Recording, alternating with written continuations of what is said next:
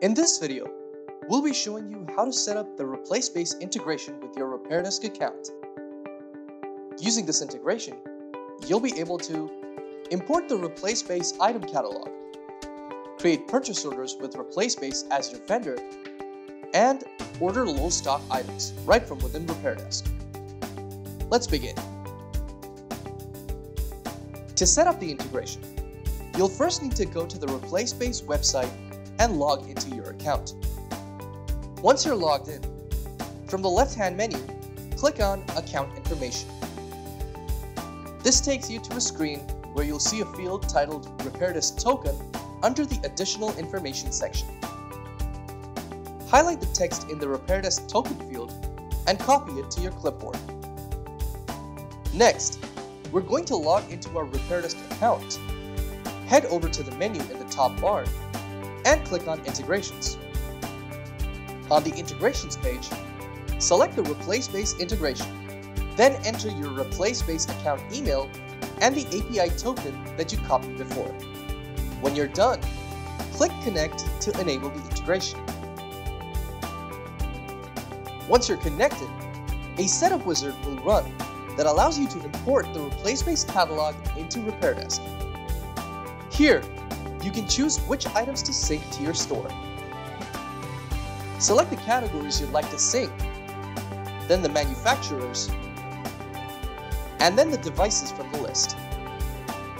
When you're ready, click on Import Products to add them to your RepairDesk account. This process will take some time depending on the number of items you're importing, and you'll receive an email when it's complete. Your items will now be successfully added to your inventory. Now that your integration is all set up, it's time to order some items. To order items from ReplaceBase, you'll need to create a purchase order by going to the inventory section in the top bar and clicking on the green plus icon next to purchase orders. This will create a new purchase order where you'll next need to select ReplaceBase as your supplier. Next, select the products you'd like to order from ReplaceBase, and when you're done, click on Save.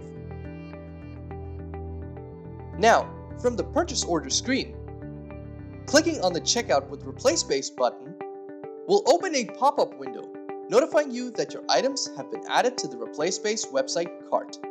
Clicking on the blue button will then take you to the ReplaceBase website, where you'll find your shopping cart with your order details.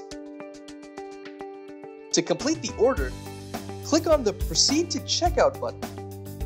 Select your shipping and payment method, and finally, click Order. Your order will now be successfully placed with ReplaceBase and will also be updated in your RepairDesk account. If you'd like to order low stock items from ReplaceBase, you'll first need to go to the low stock report. The quickest way to do that is by going to the inventory section in the top bar and clicking on low stock report. From here, you'll be able to place orders on items that are in low stock at any of your stores. Simply select the stores you'd like to view, and from the criteria field, select supplier this will add the supplier field to your filter. Next, select replace base from the supplier list and click on Run Report. You'll now see all the items that ReplaceBase provides that are in low stock at your stores. Select the items that you'd like to reorder, and when you're done, click on the Add to Purchase Order button. This will put all your items in a purchase order where you can select ReplaceBase as the supplier and proceed as normal. Using this method, you can easily order low stock items from ReplaceBase for any of your stores. For more information, please check out our knowledge base. With RepairDesk, you can easily order items from ReplaceBase for your repair store and stock up on inventory whenever you need it.